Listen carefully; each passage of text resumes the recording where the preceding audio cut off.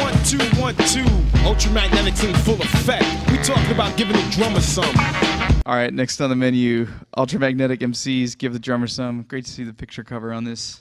And uh, Some handsome guys, huh? Yeah, yeah. Kool Keith. It looked like it was really Um, cold outside. That's classic New York right there. Yeah. So The uh, critical Shearlings. beatdown. And who's is this one of yours or one of yours? I think both of ours. I mean, Yeah. Eon was Yeah, a early ultra Yeah. fanatic. Oh yeah. Yeah. This is the John, man. Yeah. This is one of my, my favorite. Just the way that those beat, the beat came in with that fill. Yeah. And like I didn't, I didn't know the original at Right. that point, so it's just like so different. And then, um, it's just, just I think the best, I think the best song on that album. But I have different ones again. Right. Like I'll listen to a record and at certain points have different ones. But this is top for me. Right. Well, this is Paul C, right? Paul Right. C, NCG. Yeah. This is Yeah. definitely a Paul C special. You know, like What was you guys' appeal with Ultramag? Like uh, personally, I was never an Ultramag fan.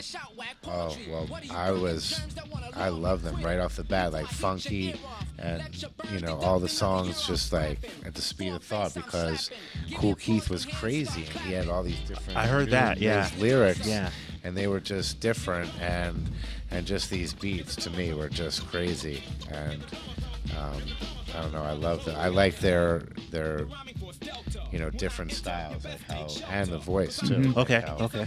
I don't know. I loved how they went back and forth. Yeah. They, Okay. You know, they killed it. Um, also, this obviously is where Prodigy got the "Smack My Bitch Up" sample that they sampled Kool Keith's voice for, and then they later did a collab with him, which um, when we went, this is a while back, but when you and I went to Kool Keith's apartment in L.A., yeah. I don't know if you remember, but he had a plaque for the Prodigy Fat Yeah, of the no, I remember that, album. yeah. It was just like like Yeah. everything was in disarray, Yeah. but like on the floor is like a plaque for Prodigy Fat of the Land.